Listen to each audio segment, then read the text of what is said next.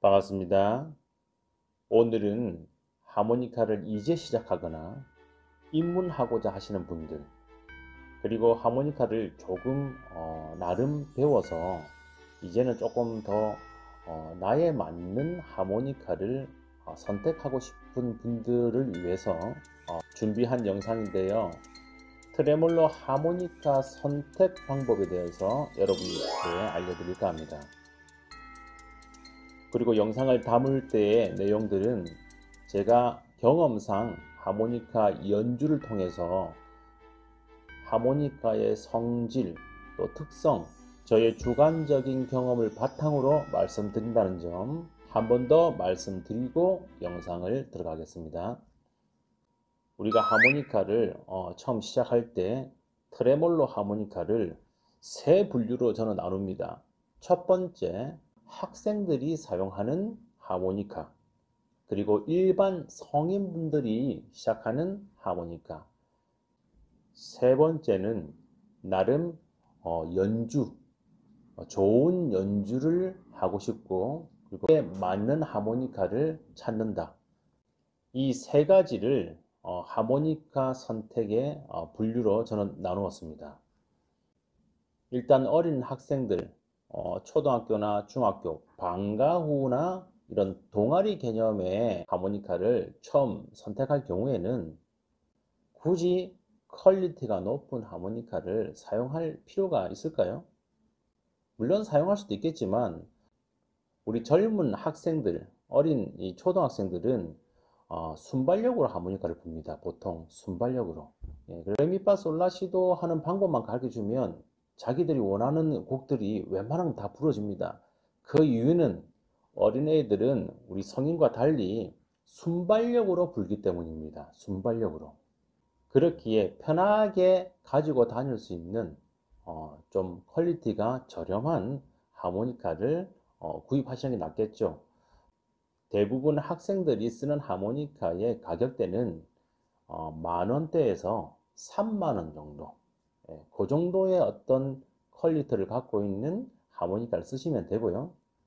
하지만 저희의 유튜브를 보고 어, 공부하시는 이 성인분들께서는 하모니카를 어, 선택하실 때는 조금은 신중하게 하모니카를 어, 구입해야 되지 않을까 하는 생각이 듭니다. 첫 번째, 그렇다면 트레몰로 하모니카는 어떤 하모니카가 좋은 제품이라고 생각하십니까? 제가 제일 중요시하는 것은요. 우리가 하모니카를 입에 대었을 때 그립감, 즉 하모니카를 입에 대었을 때 그 입술과 하모니카의 편안함이 있어야 됩니다. 편안함. 어떤 뜻인지 알겠죠? 예를 들어서 그립감이 굉장히 중요한데요. 다이아토니까 어, 이 크로매틱 하모니카를 별개로 한번 보여드리겠는데요.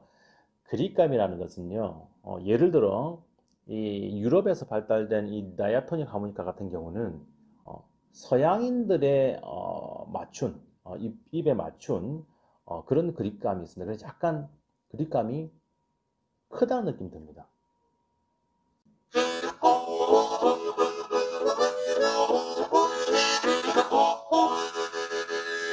아, 이 그립감이 조금 큽니다. 그래서 호흡이 많이 들어가거든요. 크로매틱 하모니카도 마찬가지입니다. 그립감이 조금 크다는 거죠.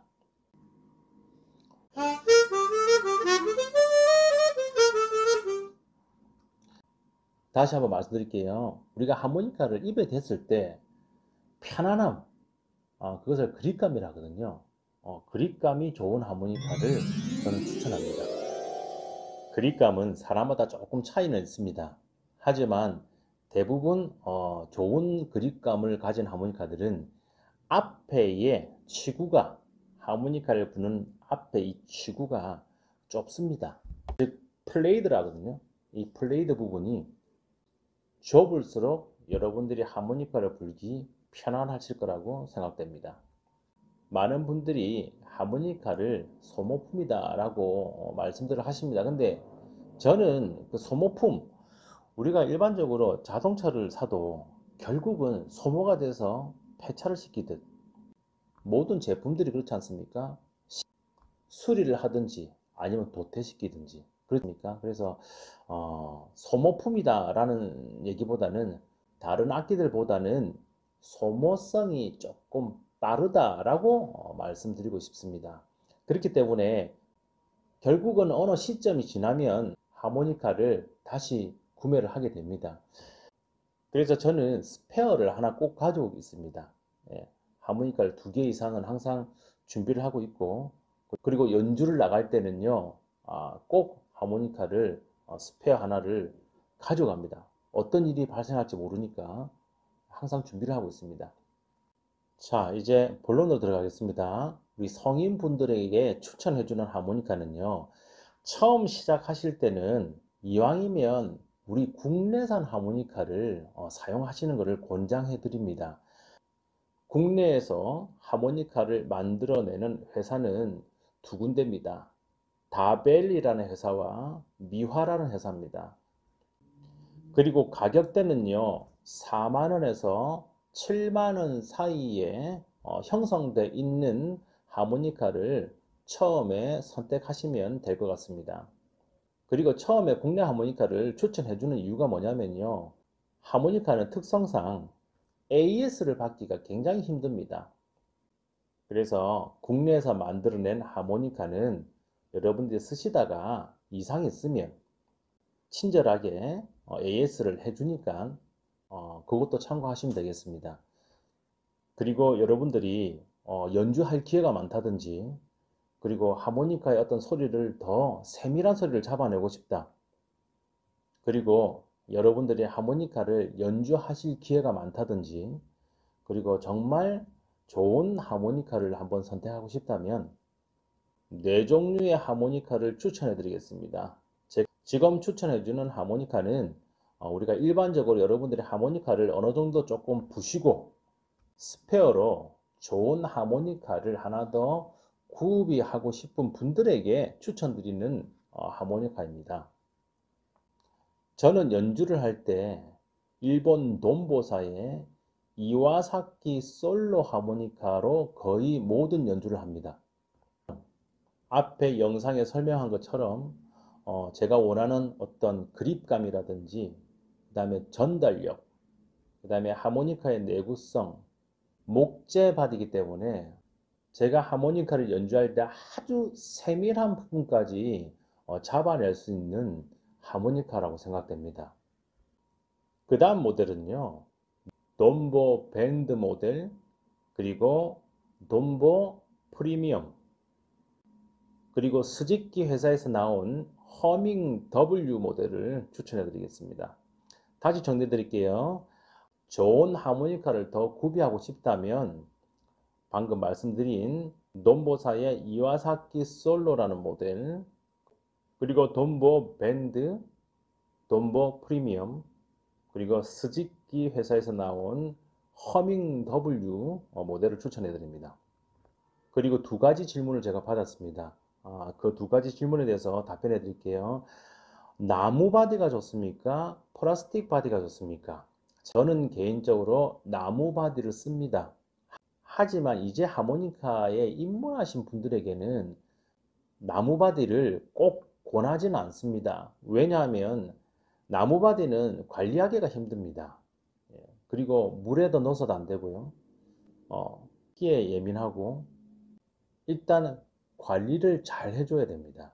예, 관리를 잘 하지 않는다면 나무 바디는 그다지 저는 처음 입문하신 분들에게는 추천 썩 추천해 주지는 않습니다.